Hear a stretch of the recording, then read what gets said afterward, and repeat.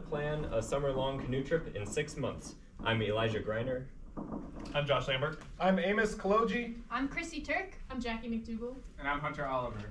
And together we called ourselves the Vagabond Voyageurs. so last summer, the six of us paddled uh, over 1,200 miles from Grand Portage, Minnesota to York Factory, Manitoba. And those are both in red here. In blue is everywhere where we resupplied on our food. And this trip took us 84 days, which, for reference, before doing this trip, none of us had done a canoe trip over 14 days.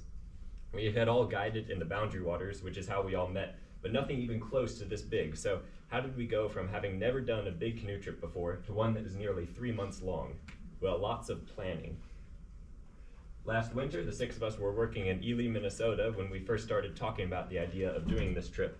And in December 2021, all six of us were committed, and in yellow here is all the time that we had to plan. In green is how long the trip itself ended up taking. So as you can see, with a trip this long, six months is not that much time to plan. We knew that if we wanted to make the trip happen, we had to start planning right in December. The good thing is, with the six of us being committed from the start, it allowed us to divide the planning six ways. And in a minute, we'll each go into more detail about each of our roles here. But the significant thing to note is that if any one of us had to do all six roles, had to plan the entire trip by ourselves, six months of planning would have easily taken three years. Every week, without fail, from December to the start of the trip, we met for our weekly planning meetings this started in person and then uh, later over uh, uh, virtually. And we really believe that if we had not been so diligent about meeting every single week, that the trip would not have been as successful. We also use the chat platform Discord to keep each other updated. Uh, some of the reasons why we believe this is successful is one, when you have a trip so far out in the future, it's easy to procrastinate on it. So having meetings every week allowed us to keep trip planning uh, top priority among our other day-to-day obligations. Another important thing is that because each meeting we were sharing new developments and discoveries and obstacles, we quickly found out just how interconnected all of our individual roles were. For example, before we could figure out where we were going to resupply for our food, we had to hone in on the route we were going to take. Can everybody hear me? Yeah. Okay, sweet. Hello, my name is Hunter Oliver. I am from Dearborn, Missouri, and my main focus when planning for this trip was route planning. So, something I discovered while route planning for this trip is that route planning itself is a pretty linear process when you're not doing other parts of the planning for a big trip. So, I didn't have to juggle a bunch of things at a time. I could kind of knock them out in sequential order. So, the first thing that anyone needs to do when you're planning a trip of any length is figure out where you want to paddle. For our group, that was pretty easy. From the get go, we knew we wanted to paddle from Lake Superior to the Hudson Bay. So from there, it was kind of on me to piece together what specific waterways we would take to get from point A to point B. I used forums such as MyCCR and different books written by other paddlers to kind of figure out what waterways were navigable in between those two locations, and that helped me out a lot. So once I had the overall route selected and what waterways we would take, I did a deep dive on each section. Um, this was probably the most important part of my route planning. Little things that you miss when you're researching waterways and sections of your trip can have big implications later on when you're making an itinerary or planning resupplies. So this was a really important part of the trip. I used a lot of the same resources I used to, to piece together the, the route in general, um, but one thing I really did differently was I created something I called the route deconstructed, which was just a Google Doc that I broke down the route into little bite-sized pieces, either specific bodies of water or sections like the Boundary Waters or Voyageurs National Park, and that helped me um, kind of tackle it in small parts. So I could research one specific body of water and then once that was all done I could do the next one. At our weekly meetings I would come prepared to kind of present on a different body of water each week. Um, and I deep dive into how many days we'd be in the area, how many portages we could expect, um, rapids, uh, anything that seemed important to that specific body of water or section of the trip, I would talk about with the group. I'd say one of my biggest regrets when route planning was actually that I stopped doing this after talking to the group about Lake of the Woods. I don't exactly remember why I stopped. Maybe it was I was too busy with work. Um, but if I had the chance to go back, I would certainly make sure everybody in the group was on the same page about later sections of the trip because that helps a lot when you're out on the water if everybody knows what's coming. Towards the end of the route deconstructed and researching the route, I started crafting an itinerary. So this is an example of what the itinerary looks like. Uh, it was really helpful for us to have the itinerary done early. Um, as you'll hear later, it was really integral to food planning and gear planning um, and even permitting later down the line. Our first draft of the itinerary was actually done in mid-January. We were able to get this done so quickly because we set parameters for the itinerary early on. We knew that we wanted to paddle an average of 15 miles a day. We knew we wanted a layover day about every six days of paddling. And we knew we had a start date of June 15th and an end date of September 8th. We had all of that figured out early, which helped really streamline this itinerary making process. I made this just on an Excel spreadsheet. Um, has the day, the place we're going to start, the place we're going to end, and then the mileage for that day. Um, sometimes I'd include information about maybe how many rapids there would be on that specific day later on in the trip because that can really impact how quickly you'll move. Uh, my biggest recommendation when crafting an itinerary is to include weather bound days. So we had a week's worth, seven days of um, weather bound days that weren't part of the itinerary. These were days where um, if weather prevented us from paddling or un- unseen circumstances would prevent us from paddling. These days were really helpful in the end when we were trying to get to York Factory, um, and we made it there by our end date because of those days. The next task I had to accomplish was to order maps.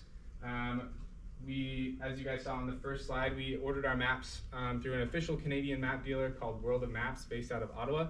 Um, we decided to go with the 1 in 50,000 scale. It was the closest scale that they had available to what we were comfortable navigating with. We'd have a lot of smaller bodies of water on our trip, and those 1 in 50,000 scale were really helpful for navigating those smaller bodies of water. Um, we ordered one set of waterproof maps from World of Maps. In hindsight, um, I would have definitely ordered two. What we did instead was to cut costs. We photocopied those maps, tried to waterproof them at home. As you'll hear again later, uh, those maps did not hold up very well uh, after our homemade waterproofing. Um, but yeah, World of Maps was a great, uh, great dealer. They had a really great interactive website um, to made really made selecting those maps that we needed really easy for me. And then the last thing I had to do, uh, once I had both sets of maps in my hand, was annotate them. Some people may disagree, but I believe that annotating your maps is super, super helpful when you're on your trip. You don't have to thumb through other resources, you just look down at the map right in front of you. And the big three things that I focused on were campsites, portages, and rapids. Um, those three things were always really helpful to just be able to look down and say, oh, there's a campsite two miles ahead. We should stop there for the day. Oh, we got a portage coming up. Um, I also would annotate points of interest in dams uh, when they came up. We did have some dams on the trip, and not all of the topo maps that we got from that map dealer had every single dam on them, so I'd write some of those in. but yeah, annotating, I can't recommend it enough. It's, it's super helpful to do before the trip starts.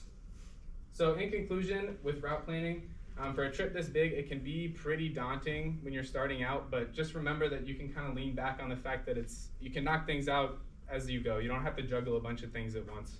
Um, and my biggest recommendation when route planning is to use information that you can get from other paddlers, whether it be forums online, talking to other paddlers, um, reading what they have to say. That's going to be your biggest resource to tap into because paddlers love helping paddlers.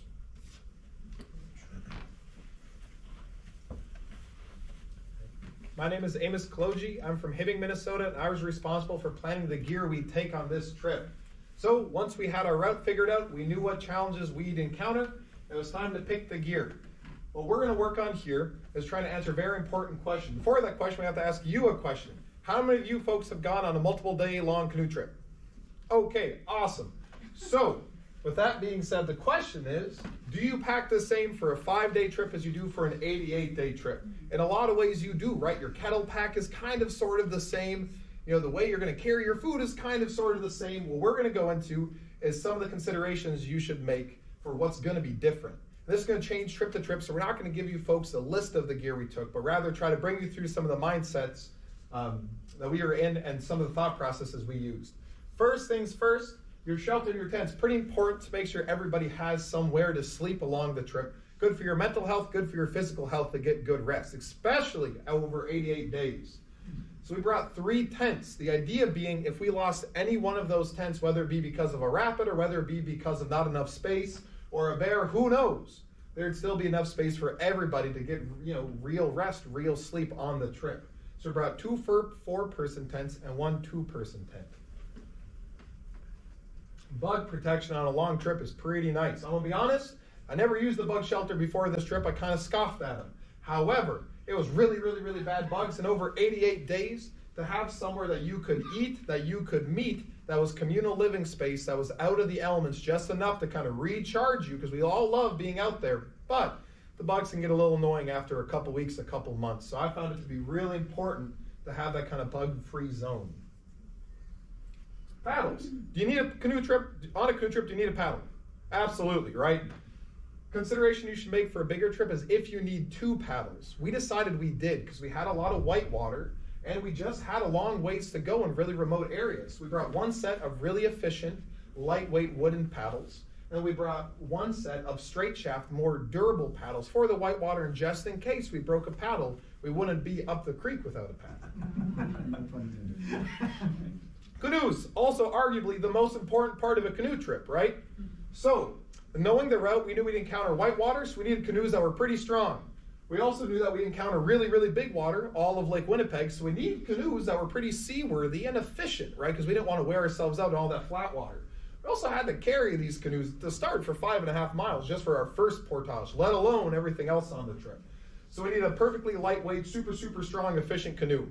Uh, it kind of doesn't exist. So what we did is we took three canoes. Two of them were 10-year-old Kevlars. One of them was a brand new North Star Innegra fiber canoe. All the canoes are between 50 and 65 pounds. That way they're light enough for portaging.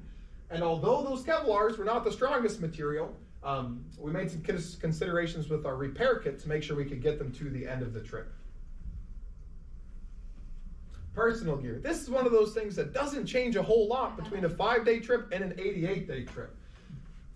One thing that might change though is the longer you're out, the more your sanity can really come into play. Mm-hmm. Especially if you're with a group. Even if it's a group of really close friends that you've worked with, something you could bring for yourself to kind of help yourself check in, whether that's emotional support frog, a guitar, whatever, can be really, really, really valuable and really, truly worth thinking about. Okay, now we're going to move into some stuff that I think made our trips when it comes down to the make it or break it moments on an 88 day long canoe trip. Our advice would be spray skirts. We had to go all the way across Lake Winnipeg, not to mention go through quite a bit of whitewater. What spray skirts do is they really increase your margin of error.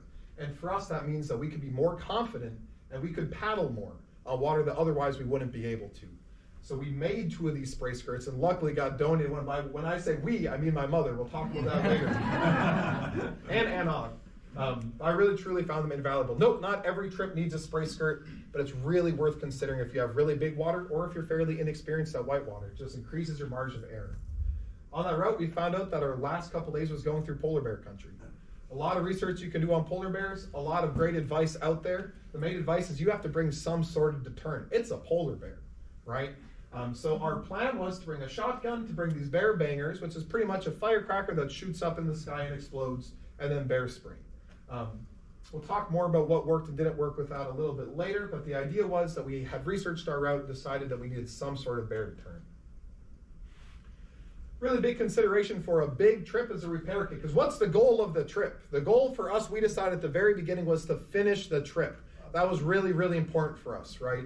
Um, to finish the trip meant we had to be ready to take care of ourselves if something happened, right? We were pretty remote for some of these things. In the wilderness, your canoe is your best way to get out of the wilderness. So we made sure our repair kit was full of all the tools and all the epoxy and all the, the duct tape you could have. But along with that, that's kind of worthless if we didn't know how to use it. So we spent quite a bit of time, I spent quite a bit of time going through the kit and going through my mind of how to use the kit to put a canoe back together if we needed it. Another thing that made or braid our trip, and again, any big trip, you would bring um, some sort of emergency communications, and some sort of first aid kit. Considerations for a really big trip. These two things are really important, right? You really don't want to lose them. So our plan with like that's a Garmin InReach. It hooks up to your phone. Really awesome, really easy to use. Way more affordable than a satellite phone. Um, you can we clipped it to someone's life jacket, so if we lost the person, we'd lose the Garmin. And we probably weren't going to lose the person. With the first aid kit, we decided to split it up at least a little bit. So if we lost an entire canoe, we'd still have some of our first aid kit left. And we left the bulk of the first aid kit, or at least usually tried to leave that in the most durable canoe.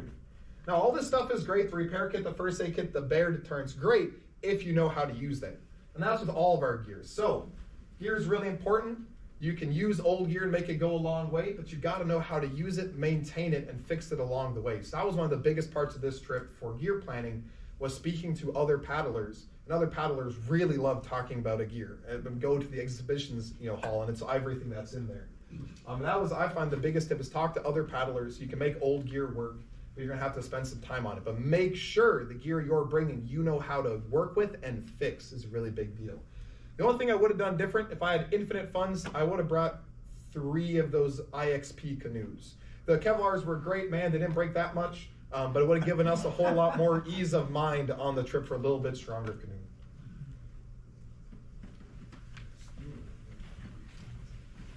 Hello, everybody. My name is Jackie McDougall. I'm from East Granby, Connecticut, and my planning section for this trip was food and menu.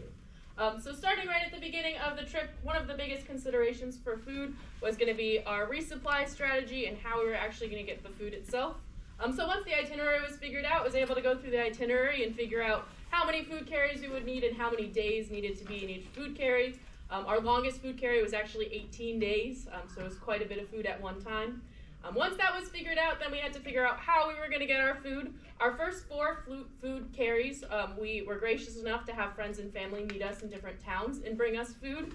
Um, but for the rest of them, we decided that we were just going to go ahead and go to grocery stores in local towns. Um, a lot of people will mail themselves food, and that works really well if you're a smaller group and if you have dietary restrictions. Um, but we didn't really have that, and we figured out that the cost of shipping food internationally for 18 days worth of food was just going to be way too much. Um, so we planned on just shopping at local stores that we were paddling through. Um, and thankfully, we didn't have to go too far to, out of our way to, to get those resources.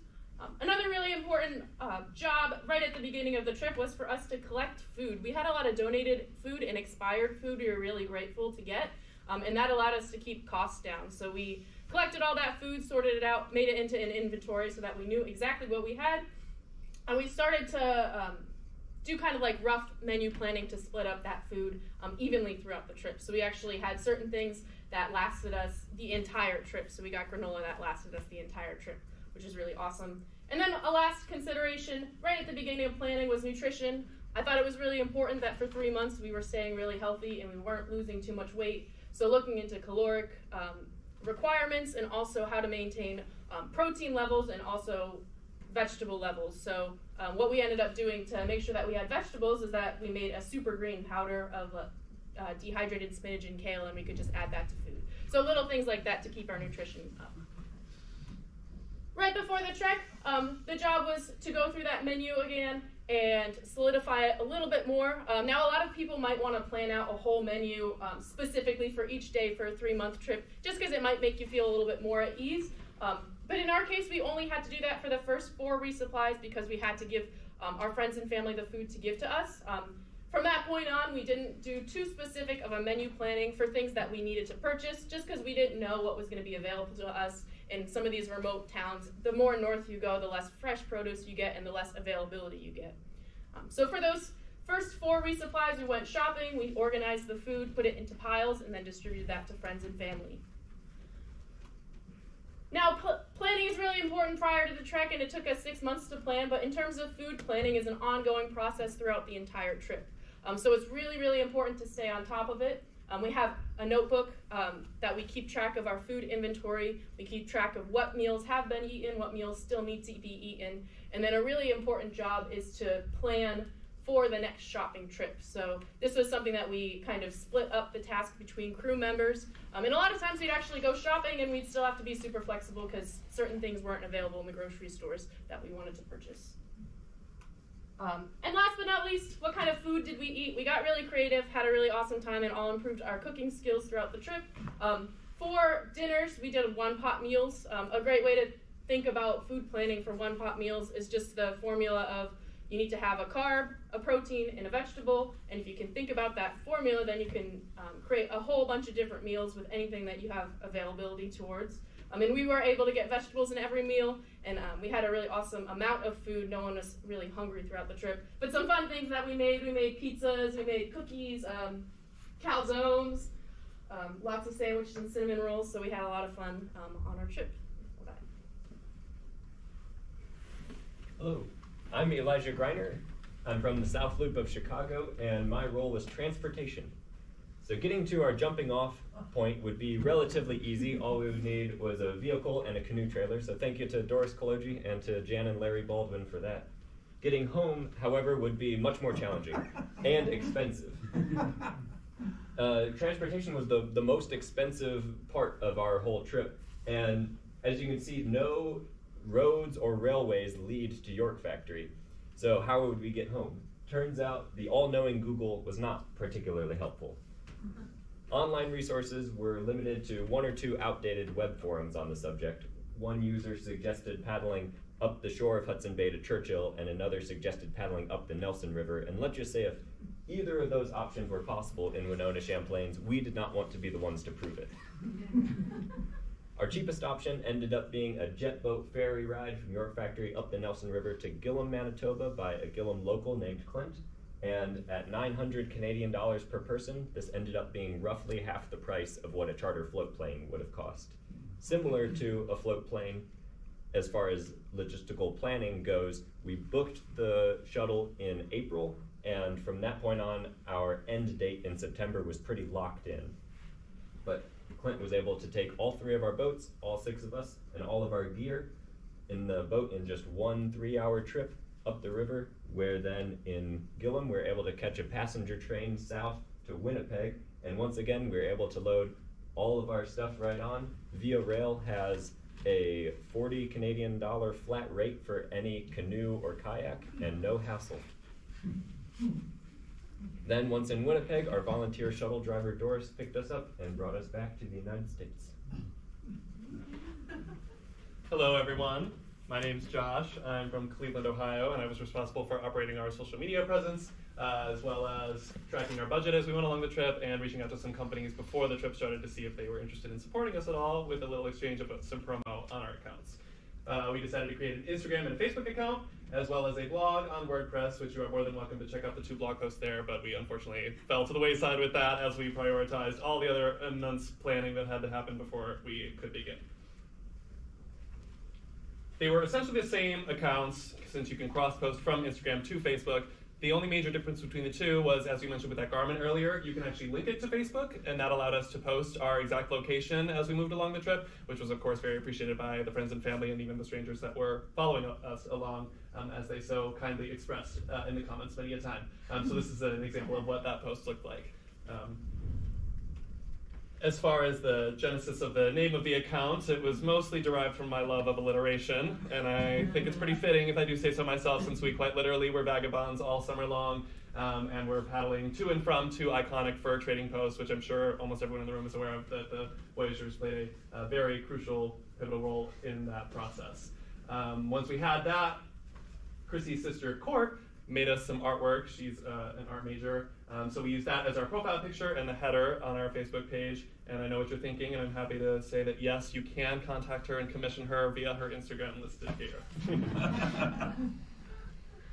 so now that we have the accounts made and all of that set, uh, we prioritized answering those questions of who, what, where, when, why. But I'm sure many people might have not even known what the Hudson Bay was, you know, any of that detail. So the what was answered by the bios on both of those accounts we started right off the bat by posting personal bios of each of us so that people could get to know who we are. Where and when was answered by a little route post that people really loved, uh, detailing where we were going and our timeline and the mileage and all those uh, details. And then Chrissy put together a video explaining our inspiration for the trip and why we were hoping to embark on such a grand adventure um, from our prior experience. So now I'm going to go into my approach to posting on trail since we obviously we're not going to have internet for much of the trip. And at this point as i'm posting our planning process we've got a lot of people interested in our trip and want to hear from us. Uh, so what i did was while i was posting our planning and preparation process i was also making posts to with the help of a friend scheduled to be posted while we were on trail.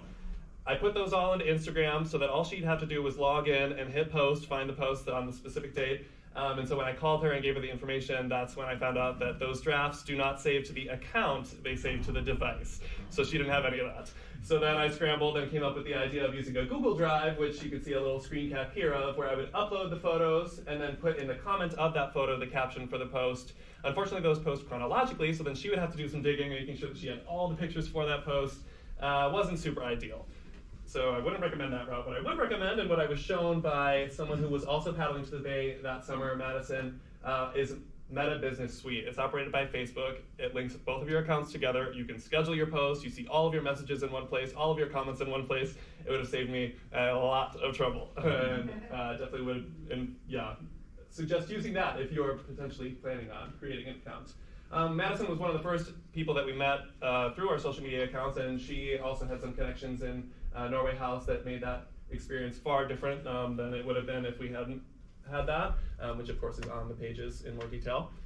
So I'll just kind of go through some of those more examples of when how those accounts influenced our trip. One of them was our first River Angel. If you're not familiar with that, just kind of somebody that helps you along your trip. Uh, Frank messaged us on Facebook and offered us his backyard. You can see in the back there a little bit. Uh, literally leads right up to the Rainy River, which is where we were launching from there. Um, so it was very appreciative to have that place to crash and just be able to get going. He also lent us his car while we were there, which made grocery shopping a dream. Um, made our experience in I a lot nicer than if we were to just roll up and you know be acting on the fly. A woman named Gail Rowe works with Path of the Paddle. She reached out to us on Facebook and in her first message just gave us a whole host of information on the area, uh, which was much appreciated. And it went even further by putting us into contact with her partner Garth, who swung by the campsite and gave us physical maps that had campsites of where we were going to be going in the coming days, which we weren't exactly positive of where those were going to be. Of course, we would just set up wherever, so uh, it was appreciated, not necessary. And then that went even further by putting us into contact with a group that was actively doing the Path of the Paddle route in reverse, um, and they were able to swing by the campsite and giving us live information of the record high water levels that they had just experienced that we, you know, didn't know what to expect with those rapids and what they would actually look like. So that was super beneficial, and all because Gail reached out to us on Facebook. Cher reached out and insisted that we swing by the museum that she works out. They gave us a quick tour, some snacks. It was really sweet. Um, and then she put us into contact with her cousin who met with us on Lake Winnipeg later on. He swung by with some food and some great information that was relevant to the lake ahead as well, which again wouldn't have been possible if she hadn't reached out on Facebook.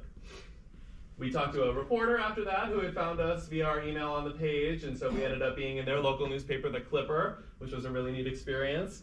And then after that, we swung by the home of a couple who had found us on Facebook. And while we don't have any pictures with Grant and Melissa, I made sure to snag some of the amazing grub that she made for us. It was so appreciated. Such a nice little break in the town um, before we embarked on Lake Winnipeg uh, at that point.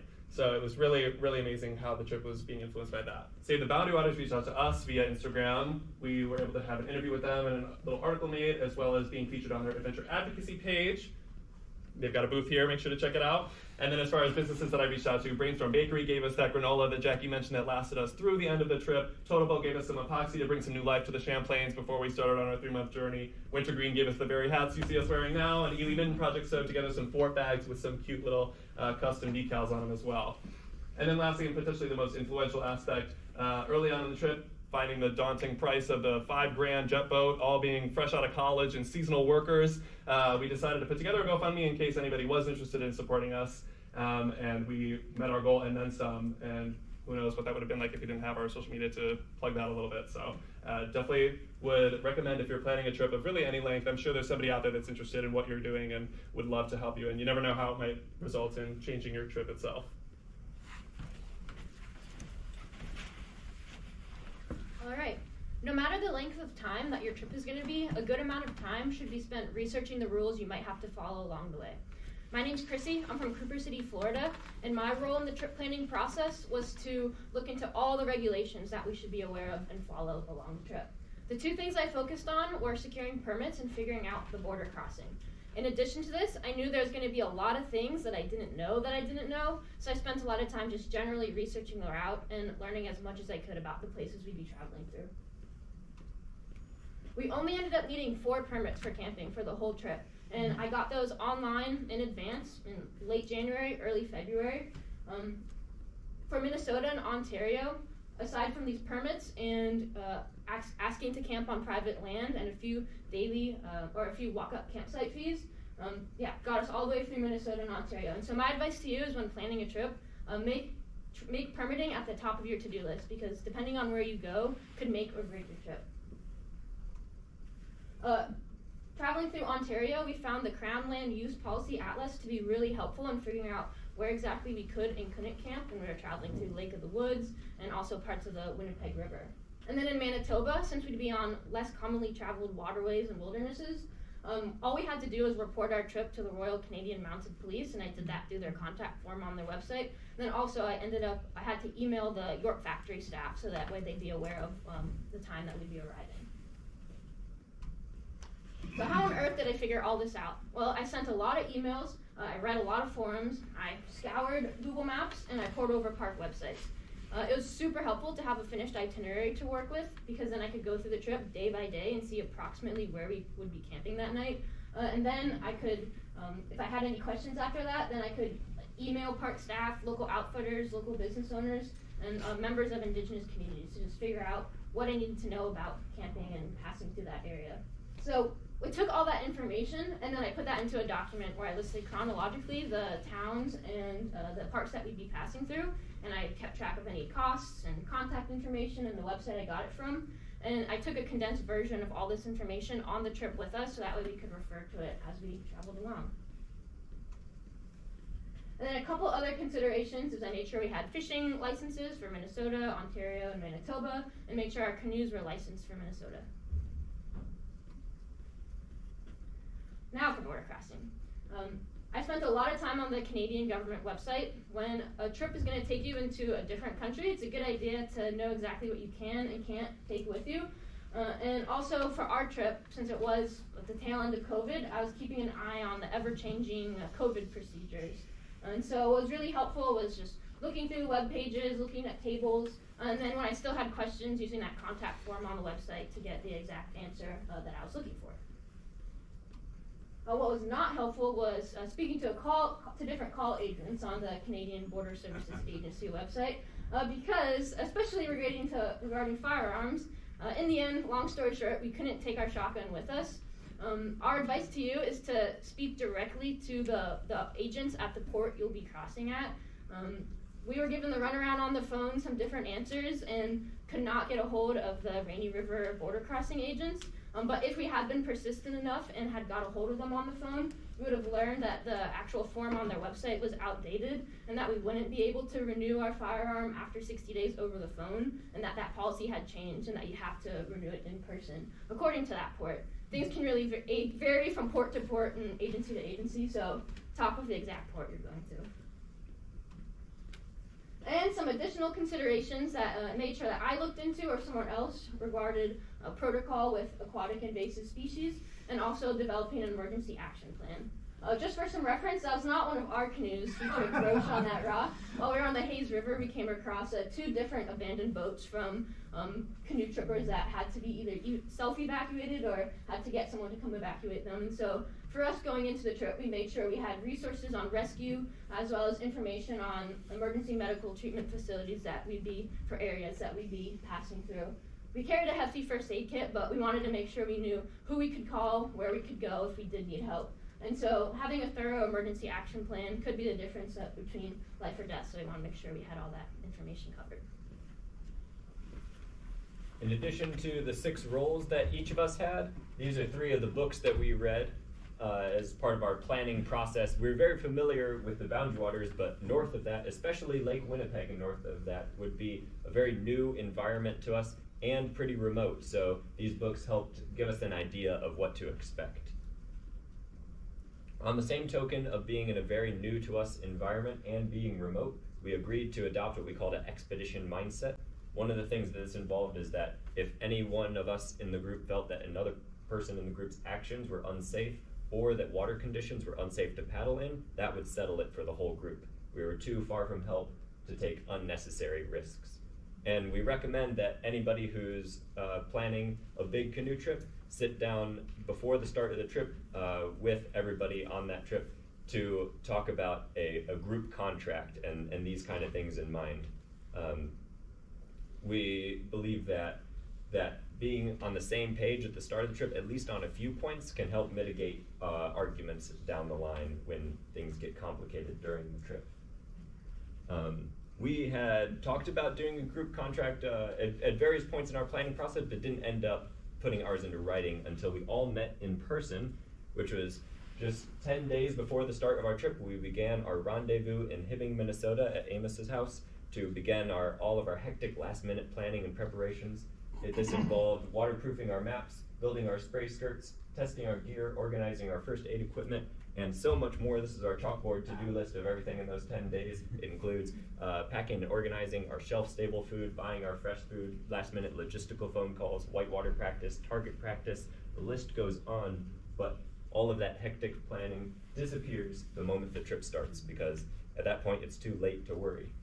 That's not to say that everything went perfect on our trip because of our planning. We still had maps disintegrate in our fingertips when it was rainy. We still had challenges getting our firearm across the border. We still had uh, gear fall apart while on trail, and we had to last minute camp in people's yards. But we do believe that that planning that we did do made the trip a big success. And as uh, one of our final slides, we're just going to touch on some of the, the key notes that we think made our planning really successful. One is that from the very start of the process, we knew where we wanted to start and where we wanted to end and could move from there. We also, from the very start, knew that all six of us were committed, which meant that we could distribute the planning into those six different roles. Um, of course, with all of those roles being interconnected, it was critical that we meet every week to share our developments so that all of those roles could progress. And as far as, as these last points go, um, paddlers really like to help out other paddlers to help people do big trips like this. So we found lots of resources uh, from other folks, either know-how, knowledge, gear-wise, and, and other things. Also, as far as people that we met along the trip that were effectively strangers to us, our social media presence played a big role in meeting locals along the way uh, who, who were able to give us uh, know-how and, and what we are grateful for, their generosity. And finally, we recommend anybody who is doing uh, a big canoe trip to sit down and, and make a group contract. But how did this trip start? It started with the planning, but before that, it started with a dream. It was uh, one day, five of us were, were sitting around, um, already good friends and with perhaps a little too much time on our hands. And we were, at this point, just Boundary Waters guides sharing our wildest ambitions. And we could have easily, at this point, dismissed this trip as being too ambitious. But we looked around and realized if all of us were in, that we could make this happen.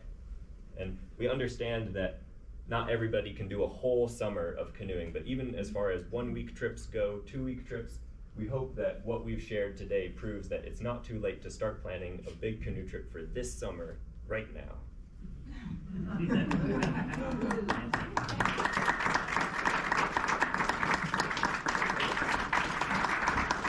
We're happy to, to take questions at this time. Uh, it is our, uh, if you have to rush out, this is our, our handle at Facebook and Instagram, Vagabond Voyageurs. And if we're not able to get everyone's questions, we'll be out in the hallway afterwards.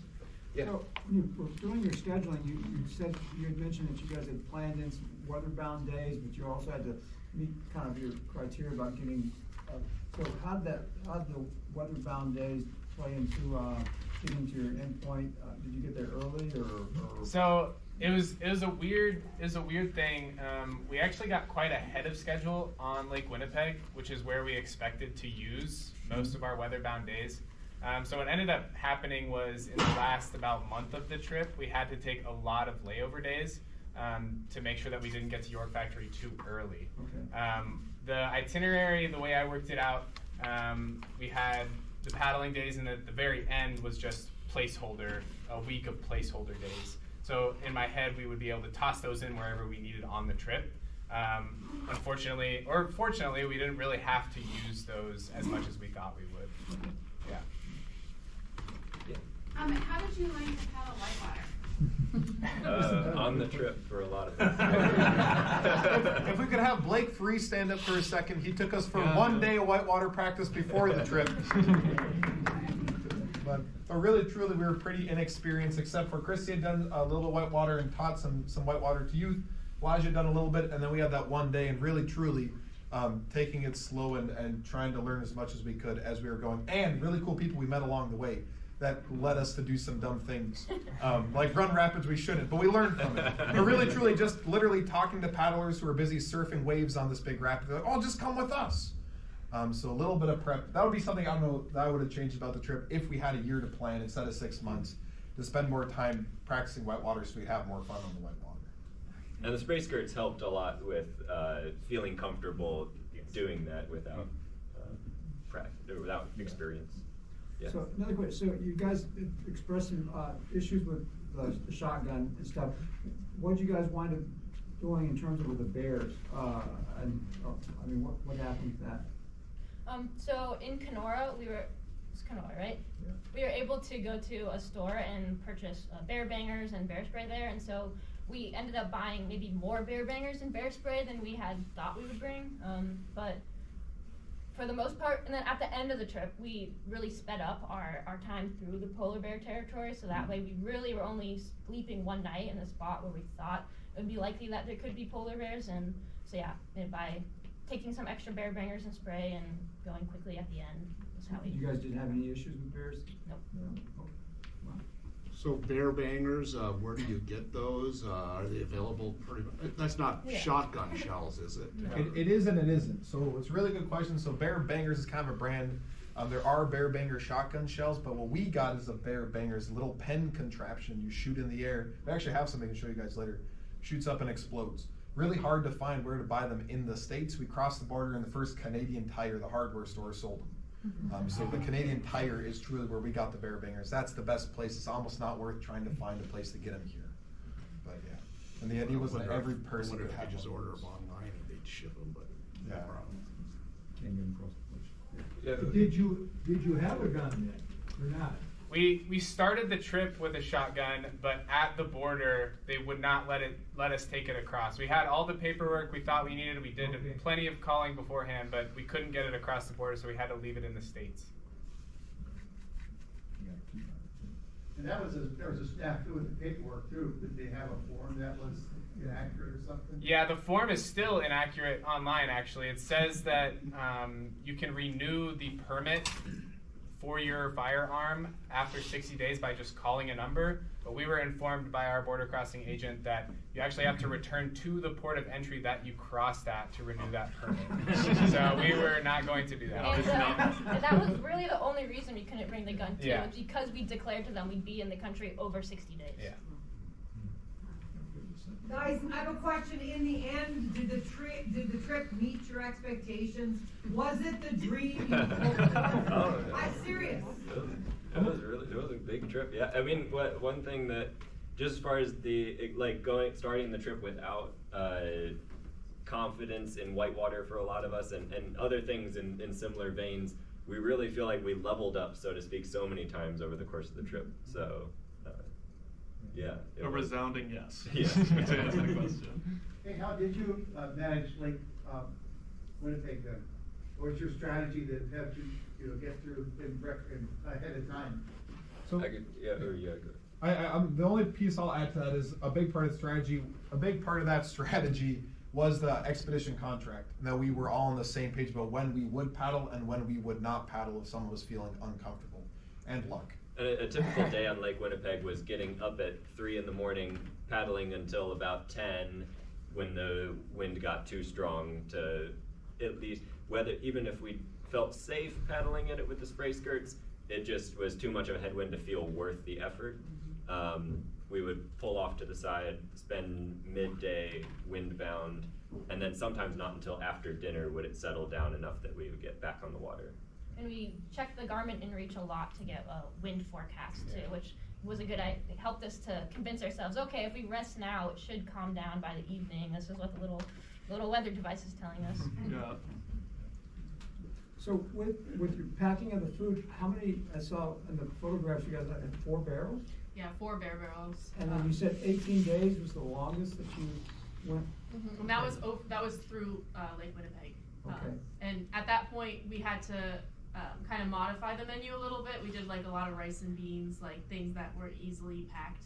Okay. Um, but at that point, we weren't portaging a lot either, so we could. And then when you guys were doing, at the, near the end, when you were like resupplying at the local stores and stuff, uh, what, what- what did you normally, I mean, what was the, uh, uh, stuff that you could, guys could find, like ramen and rice, or? It was it wasn't too crazy different than what we had. Um, I think that the hardest things were the protein sources. Um, so like they didn't have like a lot of meats and stuff, so like canned meats or like whatever we could find was just like we had available. So if they only had one brand of one thing available, we just buy a lot of that and then just have that. I, I have a question. Okay, well, yeah, well, heads up, we have, we have time for one, one more One more. question, then we'll take it in the hallway, and I think I saw somebody in the back had it. Oh. And- and-. That's his dad, for That's people my that don't dad. know. We'll have another session later. Okay, take it, okay. yeah. Well, first I want Yeah. to say, I think it's amazing that you guys did this trip and did it so well. I don't know a lot of teams uh, in business or in my life that have worked together so well and made this uh, uh, come true. And in such a, it sounds like you- it was easy for you guys. It- That's what it sounds like. Yeah, Uh, so- yeah. Yeah, so my question is, uh, before the trip, did you, did any of your parents, were they concerned about you? Yeah. My parents were pretty used to this kind of this kind of behavior, so they they're like, oh no, listen. So they got, they, parents get used to it, it sounds like. All right. Yeah. Thank you. Great.